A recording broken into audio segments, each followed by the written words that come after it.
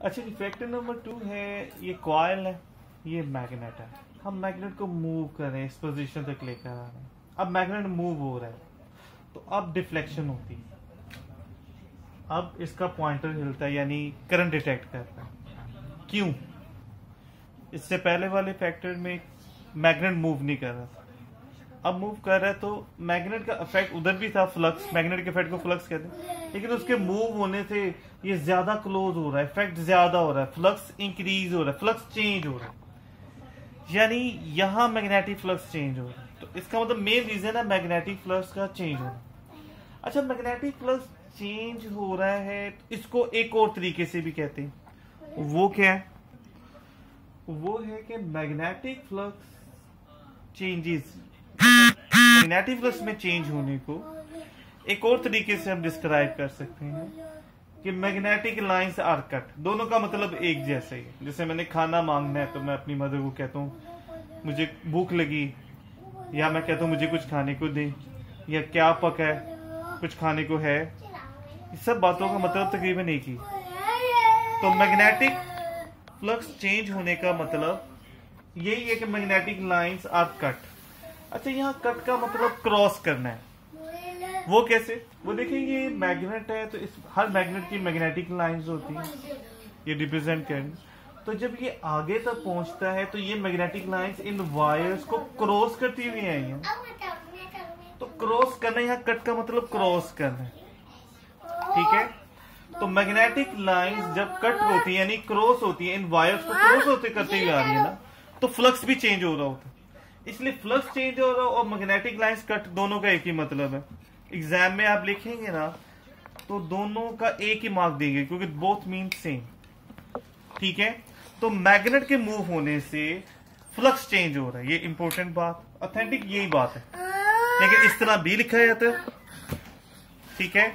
तो लाइंस का कट होना मतलब एक ही चीज़ बनती अच्छा जी, यहाँ ना एक खास बात कि हम गैल्वानोमीटर को फ़र्स्ट टाइम अगर हमने कहीं ज़िक्र किया तो यहाँ।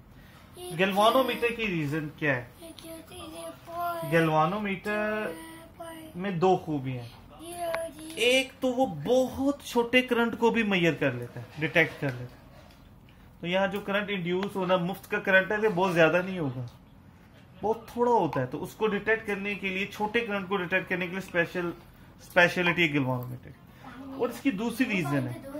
इसमें मिडिल में ज़ीरो एक तरफ़ पॉजिटिव वैल्यूज़ हैं, एक तरफ़ नेगेटिव वैल्यूज़ हैं। और ये पॉजिटिव और नेगेटिव वैल्यूज़ क्या बताती हैं? करंट की डायरेक्शन तो ये करंट की डायरेक्शन के बारे में भी हिंट देते हैं, जो कि एम मीटर नहीं देते। ठीक है? अच्छा अब एक खास बात यहाँ याद रखनी, जो कि बहुत इंपॉर्टेंट है। एग्ज़ाम में क्वेश्चन भी यही कि जब आप मैग्नेट को मूव करते हो तो ये नहीं होता कि एक मतलब मैग्नेट को मूव किया तो आगे दो महीने करंट आते ही रहा। नहीं आपने एक मतलब मैग्नेट को मूव किया ना तो एक मरतबा इसका नीडल हिलेगी, यानी ऐसे हिलेगी जैसे हम किसी स्विंग को हिलाते हैं स्ट्रिंग को हिलाते हैं लाइक like दिस कि इसे मैं हिलाता हूँ तो आस्ते आस्ते रुके हुए वही आगे सीधा ठीक है? फिर ये रुक जाती है आस्ते, ठीक है? सिमिलरली कि जब हम एक अंतर मैग्नेट को हिलाते हैं, इसके नीडल में पॉइंटर में डिफ्लेक्शन आती है, फिर आस्ते आस्ते ज़ीरो एक मतलब मूव कॉन्टिन्यूसली मूव करें तो वो होता रहेगा। तो एक मतलब हम मूव करने से मोमेंटरली डिफ्लेक्शन एक मोमेंट के लिए डिफ्लेक्शन आती है और फिर ज़ीरो हो जाती है। ठीक है? अच्छा जी फैक्टर थ्री और फोर बहुत इंपॉर्टेंट है। जरा अटेंशन दीजिए अच्छा नॉर्थ पोल को कॉयल के पास लेकर आ रहे फ्लक्स चेंज होगा। ठीक है? तो इसमें करंट इंड्यूस होगा यानी पॉइंटर हिलेगा। अब वो किस तरह हिल सकता है? या तो पॉजिटिव या नेगेटिव तो सपोज़ कर लेते हैं कि वो पॉजिटिव डायरेक्शन में। आप नेगेटिव भी सपोज़ कर लेते हैं। लेकिन मैग्नेट के करीब आने पर अगर वो राइट साइड पर गया है तो उसी मैग्नेट के नॉर्थ पोल के क्वाइल से दूर जाने पर अब डिफ्लेक्शन नेगेटिव होगी। अगर यहाँ लेफ़्ट पे होगी तो फिर इधर राइट यहाँ राइट है तो यहाँ। यानी यहाँ पॉजिटिव है तो अभी नेगेटिव होगी। नॉर्थ के करीब आने पर अगर पॉजिटिव है तो दूर जाने पर नेगेटिव में रीडिंग्स आ रही और अगर यहाँ नेगेटिव होती तो यहाँ पॉजिटिव क्यों? अच्छा जी तो क्या फ़र्क है? हम बार बार कह रहे हैं कि मैग्नेट मूव होने से फ्लक्स चेंज हो किसी भी चीज़ में चेंज क्या होता है? तो नेक्स्ट टाइम ना अगर मुझे ये चीज़ या तो वैल्यू इंक्रीज हो रही होगी या डिक्रीज हो रही होगी। तो जब मैग्नेट करीब लेकर आ रहे हैं तो इसका इफ़ेक्ट इस पर जो फ्लक्स या इफ़ेक्ट पहुँच रहा है वो इंक्रीज हो रहा है। दूर लेकर जा रहे हैं तो डिक्रीज हो रहा है। दिस टेल्स इंक्रीजिंग फ्लक्स में इंड्यूस करंट की डायरेक्शन जो है डिक्रीजिंग फ्लक्स में उससे ओपोजिट हो। ठीक है? अब इसको डिफरेंट तरीके से हम कर सकते हैं।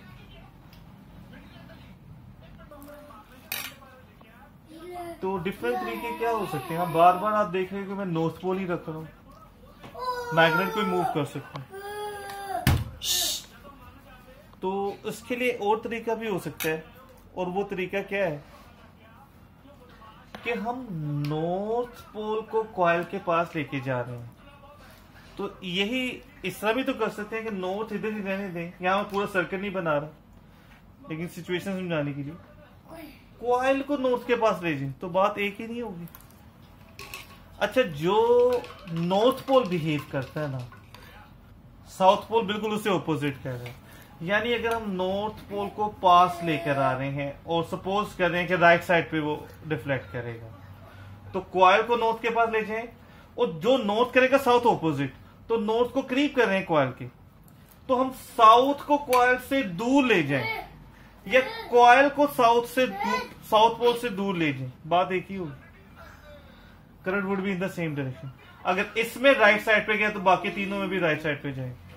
सिमिलरली नॉर्थ पोल को क्वाइल से दूर लेके जा रहे हैं। तो एक ही बात है, अब आप नॉर्थ को इधर क्वाइल को उससे दूर ले जाए। तो एक ही बात नहीं कि दोनों दूर हो रहे हैं।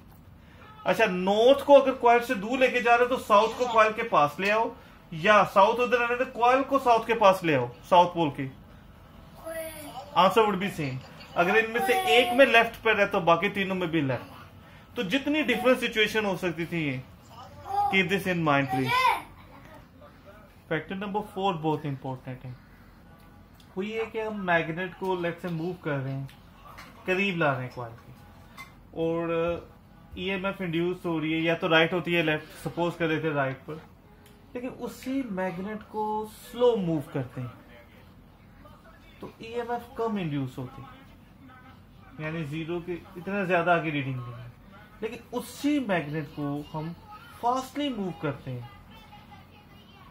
तो यू सी ईएमएफ की वैल्यू ज़्यादा आगे लार्ज ईएमएफ इज़ इंड्यूस्ड क्यों? मैग्नेट मूव हो रहा तो फ्लक्स यहाँ भी चेंज हो रहा है तो फ्लक्स यहाँ भी चेंज हो रहा है। फ़र्क क्या है? स्लो मूव करने से और फास्ट मूव करने से क्या चेंज मतलब आ रहा है? वो ये है कि बेटा फ्लक्स चेंज हो रहा है, लेकिन स्लो मूव करने से फ्लक्स आहिस्ता आहिस्ता चेंज हो। और जब हम तेज़ी से मूव करते हैं तो वही फ्लक्स चेंज हो होगा, लेकिन ज़्यादा तेज़ी से। तो हाउ फास्ट समथिंग हैपन्स उसके लिए एक वर्ड यूज़ होता है। और वो वर्ड है रेट यानी जब मैग्नेट मूव हो रहा है तो फ्लक्स चेंज हो रहा है। लेकिन कितना तेज़ी से चेंज हो रहा है how fast the flux is changing तो उसके लिए वर्ड है रेट रेट और change of magnetic flux rate means how fast something is happen happening. So how fast the magnetic flux is changing. This is called rate of change of magnetic flux. तो जब हम magnet को slow move करते हैं तो ये rate कम है। तो ईएमएफ भी कम है। जब हम मैग्नेट को तेज़ी से मूव करते हैं फ्लक्स चेंज करता है ज़्यादा तेज़ी से, यानी उसका रेट हाई कोई चीज़ ज़्यादा तेज़ी से होती है हैपन्स पास से इसका रेट हाई है। तो रेट और change of magnetic flux high है। देखिए ईएमएफ भी लार्ज यानी जैसा रेट और चेंज ऑफ़ मैग्नेटिक फ्लक्स होगा वैसे ही ईएमएफ इंड्यूस हो। ठीक है? यानी अगर रेट और चेंज ऑफ़ मैग्नेटिक फ्लक्स कम है स्लो मूव हो रहा है तो ईएमएफ भी कम। रेट और change of magnetic flux high है तो ईएमएफ भी ज़्यादा।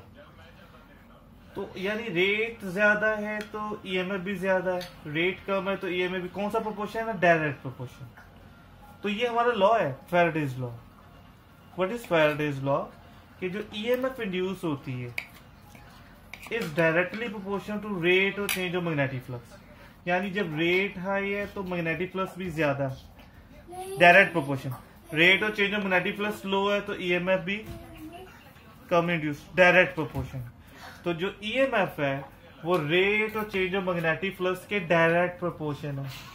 This is very important this is Faraday's law अच्छा बिफोर वी मूव फर्दर एक क्वेश्चन पास पेपर में आया था जो इसी से रिलेटेड है थोड़ा सा। वो ये कि कॉयल है गलवानोमीटर लगा हुआ है, और एक मैग्नेट को ना आप यहाँ से ड्रॉप करते हो। यानी यहाँ रेस्ट पे था, फेंकते हो। जब मैग्नेट यहाँ स्टार्टिंग पे होता है मूव करने लगता है तो ईएमएफ इंड्यूस इस फॉर्म में हो रही या समझ लें, जब मैग्नेट यहाँ इस पोजीशन पे था तो गैल्वानोमीटर की रीडिंग की। वही गैल्वानोमीटर जो मैग्नेट है, जब यहाँ पहुँचता है तो इसकी रीडिंग कैसी हो? तो दो तरह के चेंज आएँगे। एक तो जो जो मैग्नेट नीचे गिर रहा है, नीचे गिरते स्पीड इंक्रीज होती है, यहाँ फास्ट होगा। तो जितना मैग्नेट फास्ट होता है तो ईएमएफ लार्ज होगी, देखिए ज़्यादा। और यहाँ नोट करीब हो रहा था कॉयल के, और यहाँ वही नोट तो अब दूर जा रहा है। तो हमेशा करीब होने पर अगर वो राइट साइड पे गया पॉजिटिव यानी रीडिंग गई तो दूर होने पर नेगेटिव होगी। तो यानी दो चेंज होंगे, एक तो रीडिंग ऑपोजिट होगी ऑन द अदर साइड और स्पीड तेज होने की वजह से लार्ज क्योंकि जितना तेज मैग्नेट की मूवमेंट होगी प्लस रेट और चेंज ऑफ़ मैग्नेटिक फ्लक्स उतना हाई होगा। ठीक है? ईएमएफ उतनी लार्ज होगी राइट अच्छा जी next we are going to discuss Lenz law actually शायद एक बच्चा जो शुरू से ये चैप्टर पढ़ रहा है, उसके जहन में क्वेश्चन आएगा कि यार ये मैग्नेट मूव हो रहा है कॉयल मूव हो रही है, कोई चीज़ घूम रही है। ये करंट आ कहाँ से रहे? Energy can neither be created not be destroyed law conservation energy है ना? ना तो खुद से आएगी ना। इसका जवाब इस लॉ में आएगा अच्छा इसकी लॉ की स्टेटमेंट पहले समझ नहीं आती जब पढ़े पहली दफ़ा। ठीक है? लेकिन थोड़ी सी एक्सप्लेनेशन के बाद समझ आएगी और ये पूरी रीजन भी समझा देगी इसकी स्टेटमेंट है direction of induce field is such as to oppose the cause producing कुछ समझ नहीं आया हो? मैं रिपीट करूँ लिखी तो ही direction of induce field is such as to oppose the cause producing it कुछ समझ नहीं आया। अच्छा लास्ट जो फोर वर्ड्स हैं, या फाइव वर्ड्स हमने अंडरलाइन किए, इन पर गौर करें तो कुछ समझ आने लग जाएगा। वो ये है to oppose the cause producing it यानी उसी कॉज को अपोज करना जिसकी वजह से वो प्रोड्यूस हो रही है। अच्छा? समझ नहीं है चलिए ट्राई करते हैं। वो देखिए बेटा, ये एक कॉइल है। ये मैग्नेट को हम इसके पास लेकर आ रहे हैं, या मैग्नेट को उसी कॉइल से दूर लेके जा रहे हैं। तो हमने उससे कहा कि फ्लक्स चेंज होगा। यहाँ फ्लक्स इंक्रीज हो रहा है करीब लेकर आ रहे हैं। दूर लेके जा जाने फ्लक्स डिक्रीज फ्लक्स चेंज होने से इसमें करंट आएगा इंड्यूस्ड करंट पूरा सर्किट नहीं बनाया हुआ सर्किट कंप्लीट है। वो गलवानोमीटर या बल्ब लगा हुआ है। जस्ट सब सिर्फ़ समझाने के लिए सर्किट इतना बनाया तो करंट आएगा इसमें। और किसी, हमने तो पिछले चैप्टर में पढ़ा है कि किसी भी क्वाइल में करंट आए तो मैग्नेट बन जाती। और उसके पोल्स भी होंगे। यानी इंड्यूस्ड करंट जब इसमें करंट इंड्यूस होगा करंट आएगा इंड्यूस्ड करंट तो ये मैग्नेट बनेगी, इसकी मैग्नेटिक फ़ील्ड है। तो इंड्यूस करंट की वजह से जो मैग्नेटिक फ़ील्ड आती है, उसे कहते हैं इंड्यूस फ़ील्ड राइट इन दोनों में इंड्यूस फ़ील्ड आएगी। पहली बार जो अंडरलाइन की थी उन्हें समझ आ रही थी। इंड्यूस करंट की वजह से जो इनमें करंट इंड्यूस होगा, उसकी वजह से ये मैग्नेट बनेगी मैग्नेटिक फ़ील्ड होगी, उसे इंड्यूस फ़ील्ड कहेंगे। और कह रहे हैं कि इंड्यूस फ़ील्ड हमेशा उस कॉज को अपोज करती है जो प्रोड्यूस कर रही अगर इस सिचुएशन में देखें तो इसके अंदर करंट आने की रीजन है, इस नॉर्थ पोल या मैग्नेट का करीब होना। तो यानी ये मैग्नेट नॉर्थ पोल करीब हो रहा है तो ये उसे अपोज करेगी। लेंसेज ला ये कह रहे हैं, यानी रिपेल करेगी। तो रिपेल कैसे किया जा सकता है अगर ये नॉर्थ पोल आ रहा है तो फिर यहाँ नॉर्थ पोल होगा इंड्यूस फिर दूसरी तरफ़ ऑटोमेटिकली क्योंकि नॉर्थ पोल होगा तो इससे करेगा ना रिपेयर दूसरी तरफ़ साउथ होगा। और सिमिलर अगर यहाँ साउथ आ रहा होता, फिर यहाँ साउथ ही आना यानी सेम जो यहाँ पोल करीब आ रहा है वो यहाँ पोल इंड्यूस होता है। रिपेल करेगी। और यहाँ, यानी हम मैग्नेट को दूर ले जा रहे हैं तो ये अपोज करी से दूर जाने देगी अट्रैक्ट करेगी। अपोज कर यानी जब मैग्नेट को करीब लेकर आ रहे हैं तो वो करीब नहीं आने दे रही रिपेल कर रही जब दूर लेके जा रहे हैं तो वो उसे अपोज करेगी? यानी अट्रैक्ट करेगी। अट्रैक्ट कैसे करेगी? नॉर्थ है तो यहाँ पर साउथ पोल प्रोड्यूस होगा। फिर ऑटोमेटिकली दूसरी तरफ़ नॉर्थ पोल अच्छा पोल कब चेंज होती है? दो कॉइल्स में जो करंट चेंज हो जाए तो इससे फिर वो एक बात प्रूफ होती है कि मैग्नेट के करीब आने पर नॉर्थ पोल के करीब आने पर जो करंट की डायरेक्शन है, दूर जाने पर उससे ऑपोजिट है। ये फैक्टर नंबर थ्री को दोबारा प्रूफ हो गया यहाँ पर। तो अब ना जरा गौर करें इस बात पर। जब हम करीब लेकर आ रहे हैं तो रिपेल कर रही है। यानी ये भी मैग्नेट बनेगी, ये रिपेल करेगी। अब होगा क्या इफ़ेक्ट दूर लेके जाए तो अट्रैक्ट यानी दोनों मतलब मूवमेंट को, करीब आने की मूवमेंट को अपोज करें या दूर जाने की मूवमेंट को अपोज करें उससे होगा क्या? कि जो हम मैग्नेट को मूव कर रहे हैं काइनेटिक एनर्जी ना मूवमेंट और kinetic energy is part of mechanical उसकी वो मैकेनिकल एनर्जी या काइनेटिक एनर्जी कम होगी। यानी आप अगर जा रहे हो कोई पीछे से, आपको खींचे। या आगे जा रहे कोई आगे से आपको अपोजिट पुश करे तो आपकी एनर्जी क्या होगी? मूवमेंट की कम होगी ना काइनेटिक एनर्जी कम। तो हमने पढ़ा है energy can neither be created not be destroyed ना इंक्रीज कर सकते हैं decrease but can only be change from one form to another form वो जो काइनेटिक एनर्जी या मैकेनिक एनर्जी कम हो रही है, वो जा किधर रही है? वही इनके अंदर जो इलेक्ट्रिकल करंट आ रहा है इलेक्ट्रिकल एनर्जी में कन्वर्ट हो रही है। Energy can neither be created ना तो काइनेटिक इलेक्ट्रिकल एनर्जी मुफ़्त में नहीं हम शुरू से कह रहे हैं इंड्यूस हो रही है। मुफ़्त में आ रही है। एक्चुअली मुफ़्त में तो कोई नहीं आ सकती। ये इलेक्ट्रिक एनर्जी आ कहाँ से रही?